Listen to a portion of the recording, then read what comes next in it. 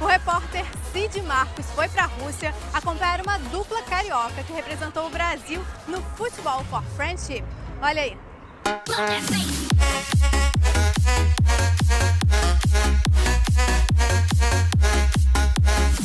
O consulado brasileiro na Rússia se resume a estes dois, pelo menos pela moral. Eu vou sair do meu quarto que vem um bando de gente perguntando se eu sou do Brasil, se eu conheço Neymar, Thiago Silva, todo mundo.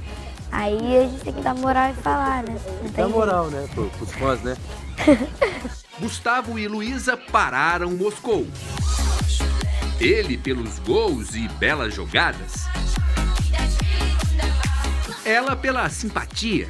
Tá bom, não só pela simpatia, mas por bem mais que isso. Agora você vai conhecer as aventuras de Luísa e Gustavo em Moscou. Antes, vamos falar da cidade. Moscou tem uma arquitetura inconfundível. Esse estilo é típico. Há um colorido. São cores que nem a noite apaga. As construções tradicionais têm uma linguagem única. São castelos. A capital da Rússia é enorme. Aliás, a Rússia é gigantesca. É o maior país do mundo em território. São mais de 17 mil quilômetros quadrados, o dobro do Brasil. E o verão? Ah, não é bem um verão brasileiro. Na Rússia, a temperatura máxima dificilmente passa dos 25 graus. No verão, estação do momento. Mas já deu para perceber pela minha roupa que não tá fazendo calor não. Tá batendo 14 graus, isso às 11 horas da manhã. Mas nada comparado às temperaturas mínimas, que variam de menos 8 a menos 40 graus centígrados. E é nessa cidade fria que mais de 400 crianças de todos os países do mundo se encontraram para uma disputa. O Football for Friendship, o F4F, Campeonato Mundial pela Amizade, antecedeu a Copa e trouxe craques para os gramados de Moscou. Em um dia, 32 equipes disputaram quase 200 partidas de futebol. Os times eram mistos, com crianças de diferentes países. O Gustavo, carioca, que joga na base do Fluminense, teve como colegas de equipe crianças da República Dominicana, País de Gales, Guiné-Bissau, Filipinas e Quênia. E essa diversidade foi marcante. Eu acho que tá bom, é continuar assim. A gente vai progredir. Se Deus quiser, vamos ganhar. Tá falando igual o jogador profissional. É. Vamos entrar com muita gana, disse um dos jovens atletas. Muitas ganas a, a darlo todo na cancha. O futebol pela amizade funciona assim.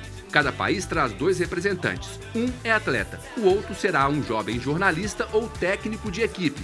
É o caso do Colágano de Botsuana. O técnico já sabe que o futebol aqui é rápido, rápido. The game is very quickly. E é nessa que aparece também a Luísa, nossa brasileirinha. A menina de 12 anos fez arte. Foi uma jovem jornalista e viu que a tática na profissão não é fácil ver se a iluminação da câmera tá boa, ver se o som ficou bom, ver se o áudio da pessoa, sabe? É bem complicado. É fácil jogar uma bolinha, né? É. Voltando para o campo, vamos de Gustavo. O brasileiro, também com 12 anos de idade, jogou muito. Foi o principal atleta da equipe dele, que chegou à final, mas não levou o título. O detalhe é que a derrota aqui é o de menos. O que vale é celebrar um mundo mais igual. Não só jogar futebol, mas aprender alguns valores importantes para a vida das crianças, como a questão da amizade, a questão da tradição, honra, saúde, ou seja, é uma relação muito próxima com o que a Gazprom, juntamente com a FIFA, estão fazendo aqui na Rússia e Moscou. Mas, igual, Gustavo não foi, ele foi diferenciado. Foi eleito o melhor atleta da competição. Tá no sangue, né, Gustavo? Diga aí. Sangue de brasileiro, né? Sangue de brasileiro? Sim. Tá explicado. E foi depois de tanto sucesso que Gustavo e Luísa, como eu já disse, pararam Moscou. E a conversa que tive com eles no início, caminhando pela cidade, vai fechar essa reportagem. Isso porque não existe um fim. É tudo o início de um futuro melhor. Eu vou levar o que eu aprendi aqui, os amigos daqui eu vou levar para minha vida inteira.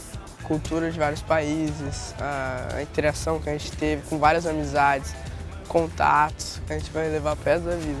É, bem que podia sobrar um pedacinho desse futuro melhor para mim. Imagina eu realizando um sonho ser um jogador de futebol. Eu idade tenho, né? E sou bom na entrevista. Depois do jogo, depois de todas as suas entrevistas, você pretende bater uma bolinha?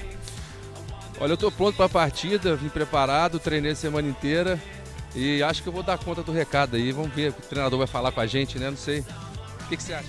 Deu conta ou não? Claro, claro sim, acho sim. Obrigada. De nada. Pequena grande repórter Luísa, valeu, viu?